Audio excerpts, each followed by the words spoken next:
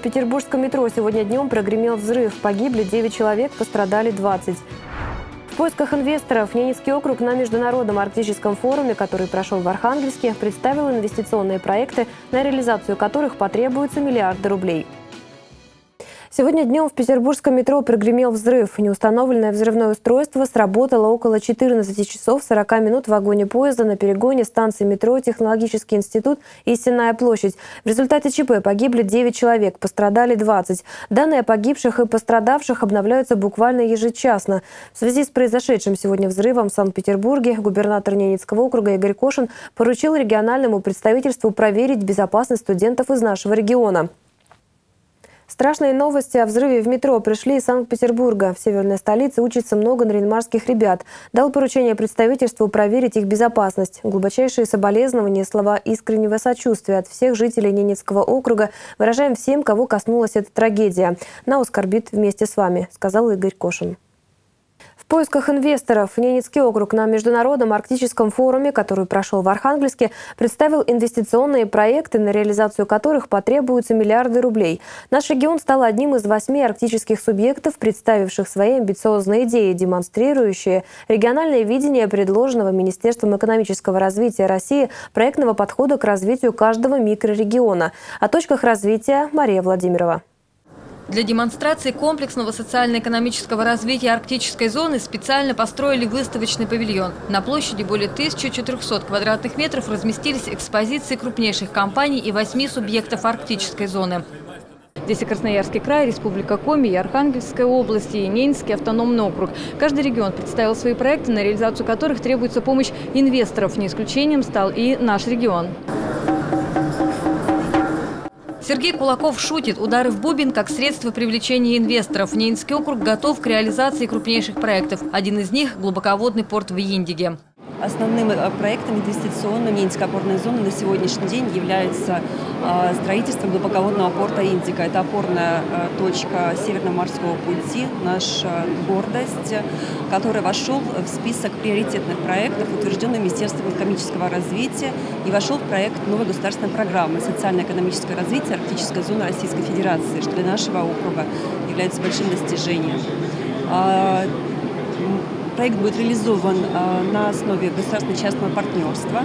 Декларация э, о намерениях э, по инвестированию в данный проект была согласована Росморречфлотом с некоторыми замечаниями, которые мы сейчас отрабатываем.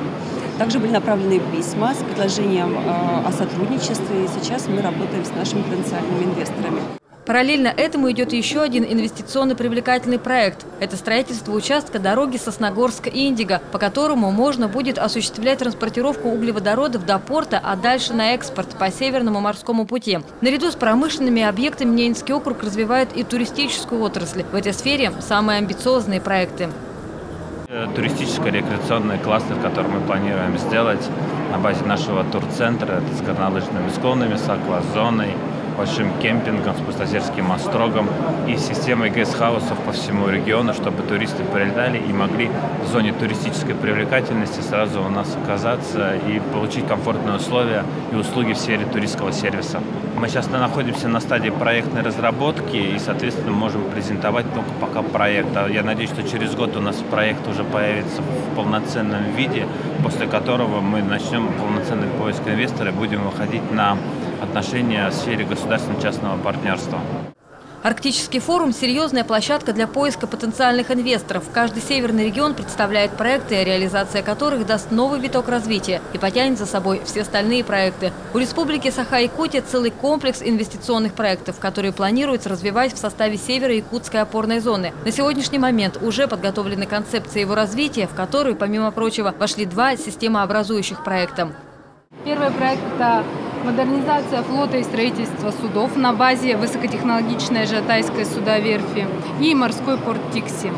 Корпорация развития Республики Саха-Якутия осуществляет подготовку и реализацию данного инвестиционного проекта. В настоящее время разработан бизнес-план «Финансовая модель», в разработке находится проектно-сметная документация.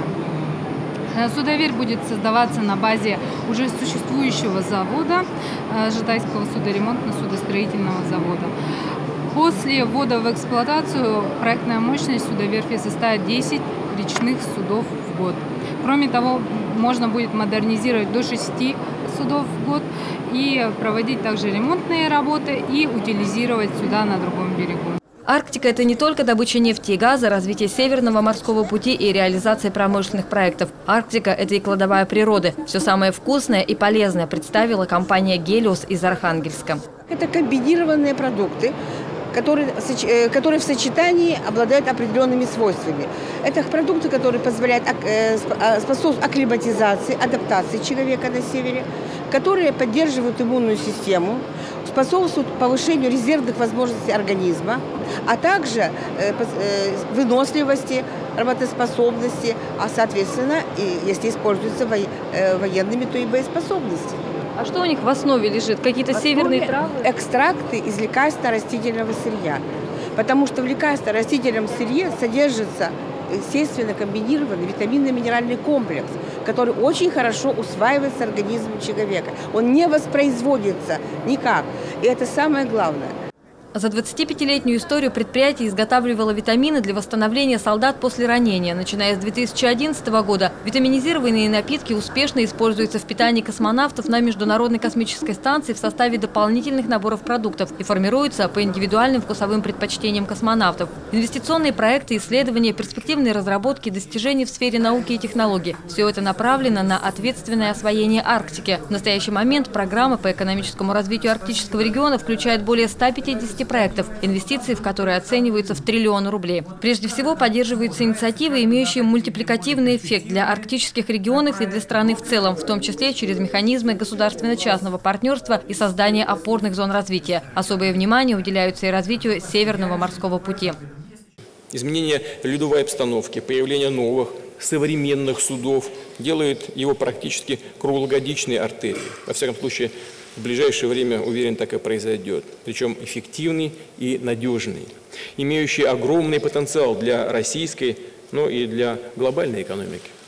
Я уже поручил правительству проработать вопрос о создании отдельной структуры, ответственной за комплексное развитие Северного морского пути и прилегающих опорных территорий, включая инфраструктуру, гидрографию, безопасность, управление и все необходимые при этом сервисы. Приглашаем наших иностранных коллег активно использовать возможности Севморпути, что позволит снизить издержки и сроки доставки грузов между Европой и Азией. При этом хорошо понимаем, для того, чтобы этот коридор был конкурентоспособным, универсальным, востребованным для перевозки всех типов грузов, от сырья до контейнеров, необходимо сформировать для транспортных компаний максимально благоприятные условия. По прогнозу Росатома, через пять лет объем грузопотока по Северному морскому пути может вырасти до 35 миллионов тонн. Подтверждение тому является востребованность использования этого маршрута такими крупными проектами, как Ямал-СПГ, реализуемый Новотеком, и разработка новопортовского месторождения «Газпром» нефти. Еще одним крупным игроком в этом списке может стать и Ненецкий округ. Мария Владимир Валянец, Шишилов, телеканал «Север Архангельск». После учебки на корабль «Наринмар». Уже в мае малый противолодочный корабль «Наринмар» пополнится тремя солдатами-срочниками из окружной столицы. Суровый климат Заполярья не помешал белому медведю совершить лыжный переход по маршруту аллено-транспортных эшелонов. Команда смельчаков из военно-патриотического клуба вернулась в окружную столицу.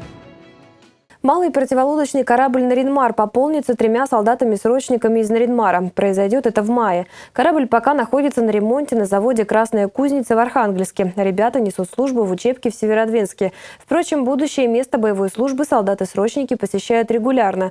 В этот раз поводом послужил приезд официальной делегации из Ненецкого округа. Ну, я воспринимаю это как элитные войска.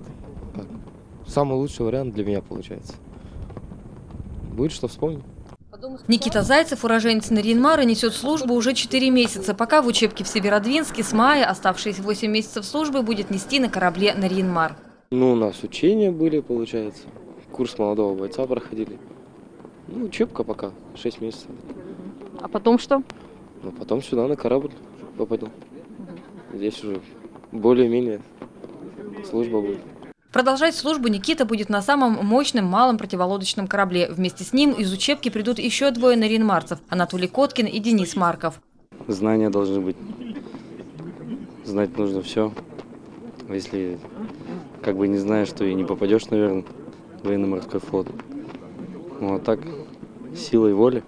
Денис Марков о службе именно на этом корабле мечтал. И не случайно, ведь данный тип судов кораблей по количеству вооружения на одну тонну водоизмещения занесен в Книгу рекордов Гиннесса. Фрегат был заложен на судостроительном заводе в Зеленодольске в 1988 году, а на воду спущен спустя два года. В 1990-м корабль вошел в состав Северного флота. С осени 2002 носит название «Наринмар» в связи с установлением шефства над кораблем городом Наринмаром. Э, Наринмарцы на самом деле очень гордятся, что у них есть, э, ну, что есть э, малый противолодочный корабль, носящий гордое имя э, Наринмар.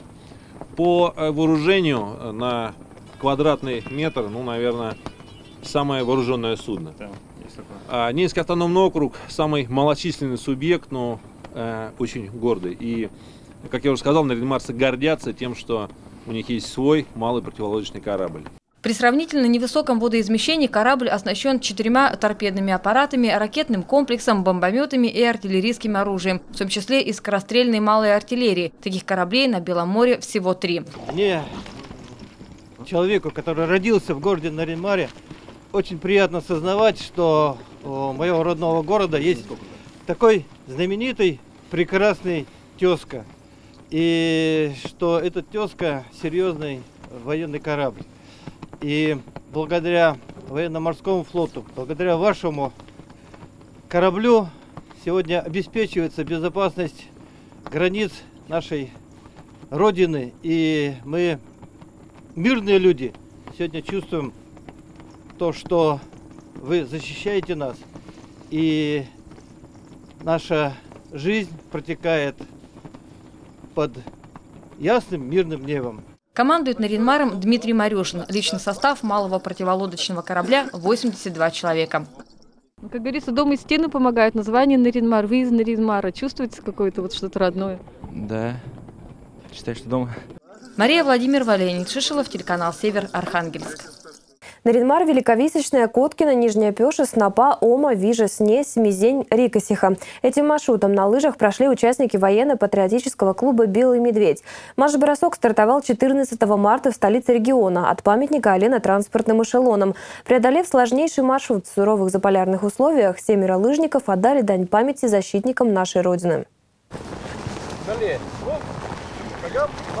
Ну, ни пуха, ни пера, ребята. Ранним утром 14 марта команда смельчаков из военно-патриотического клуба «Белый медведь» отправилась совершать очередной и самый сложный лыжный переход. Иначе как марш-броском в историю его не назвать. Шестеро студентов под руководством опытного наставника Василия Терентьева задумали в точности повторить маршрут, по которому шли оленотранспортные эшелоны округа до железнодорожной станции Рикосиха, откуда потом отправлялись на Карельский фронт. И им это удалось. За две недели пути лыжники преодолели 440 километров по безмолвной заснеженной тундре, ночевали в поселках и снова отправлялись в путь.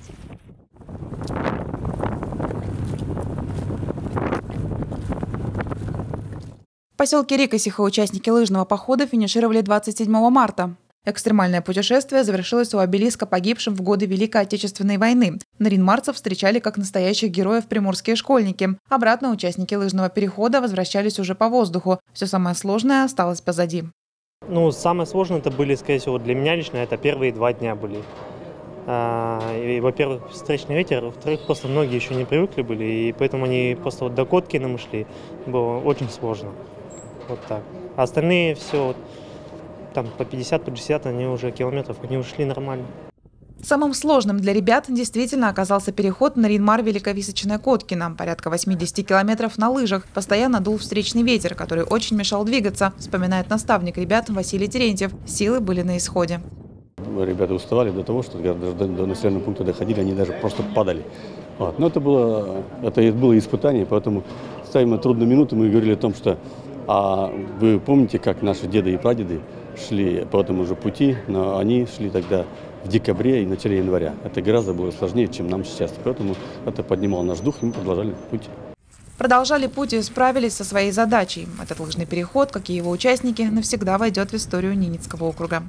Ирина Цепетова, Дмитрий Лукевич, телеканал «Север». Проснулся, потянулся и ждет в гости. Мишкины потягушки. Под таким названием в заповеднике Ненецкий прошел праздник, посвященный выходу медведя из зимней спячки. С первым весенним теплом, закравшимся в Ненецкий округ, из зимней спячки вышел житель Наринмара бурый медведь Миша.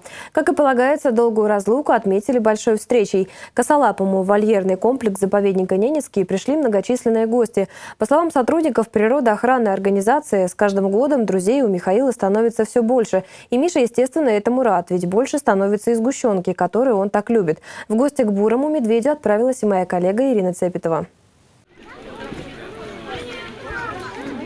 Миша с упоением пьет сгущенку, аккуратно сжимая в могучих лапах пластиковую бутылочку. Рассказы о том, что медведи обожают мед, не про местного косолапого. Михаил среди всех сладких лакомств предпочтет именно сгущенное молоко. А вообще житель заповедника Ненецкий большой любитель поесть. Вкусно и много. Об этом не понаслышке знает Дмитрий Леонов. Здесь его зовут хозяин медведя. Дмитрий ухаживает за бурым, кормит и поет его вот уже пять лет. С обедами для Михаила заповеднику здорово помогает детский сад. Огромная благодарность, конечно, за это. Да, вот все детишки, которые не доедают, он с удовольствием это поедает и довольно хорошо себя чувствует после этого. А как, каждый день привозишь? Да, каждый день. Он ест каждый день, килограмм по 20. Вот так, да, он ест очень много. Тем более сейчас, когда просыпается и перед сном. В этом году Мишка проснулся 23 марта, а уснул 9 ноября прошлого года. За четыре с лишним месяца спячки фигура Потапыча не изменилась. По словам Дмитрия, Бурый весит около 300 килограмм. Кстати, Михаил в еде непривередливый, можно сказать, абсолютно всеядный. И, судя по всему, отрицает раздельное питание. После сгущенки, не задумываясь, съел вяленую рыбку. Впрочем, сегодня Михаила, конечно, балуют, но в пределах разумного. Гостей праздника просят не бросать еду Мишке в вольер, а складывать в специальную корзину. Белый хлеб, бананы, яблоки, печенье – вот такую огромную корзину угощений принесли Мишке гости праздника. Но любимое лакомство Потапыча – это, конечно, сгущенка. Съесть все это сразу Михаилу не разрешат, потому что очень вредно. Этой корзины ему хватит надолго. Пока Миша с упоением поглощает разнообразную еду, за ним наблюдают десятки любопытных глаз. В полном восторге от Косолапова и взрослые и дети. Когда я подошла близко к клетке, я испугалась. А сейчас? Сейчас уже не совсем страшно. Он добрый? Добрый и хороший. И очень здорово, что о Мишке позаботились. Потому что все время жил на свалке, там все про него такое писали. И, ну, спасибо. спасибо людям, кто, кто о нем позаботился. С 2012 года Михаил живет здесь, в заповеднике Ненецкий, в самых комфортных условиях. Можно долго спорить, где косолапому было бы лучше, на природе или в неволе. Совершенно точно одно. Под присмотром сотрудников заповедника Миша проживет дольше, чем в диких условиях. Медведи могут жить в неволе до 40, бывали случаи лет живут. Вот этому медведю больше 25, насколько я знаю. Вот. А так в целом вот в природе они живут где-то вот, вот до этого возраста, до 25, а в неволе могут дольше жить. Сегодня Михаилу уже 25 лет. Возрастной мальчуган. Так говорит о нем Дмитрий Леонов. Человек, который знает о Мише больше других и заботится как о родном. Он понимает два слова. Это «иди», потому что вот эта клетка закрывается, а я здесь нахожусь. Я ему, он здесь становится, грозный такой, кушать хочет в основном. И вот э, на той стороне, и он где-то трясет там всю, это, всю клетку. Вот. И когда потихоньку открываешь эту дверь и говоришь «иди», и он пулей и залетает сюда, и все. И, ну, так вот единственное, что понимает. А второе, ну это я не буду говорить, мы когда играем с ним, другие немножко слова, не в эфир это. Кстати, те, кто еще не поприветствовал Михаила после его пробуждения, могут сделать это в любой день с 9 часов утра до 5 вечера. И не забудьте прихватить с собой угощение. Ирина Цепетова, Владислав Носкин, телеканал «Север». Такова информационная картина этого дня. Мы следим за развитием событий. Увидеть новости можно и на нашем сайте. Его адрес www.trksever.ru. Далее прогноз погоды.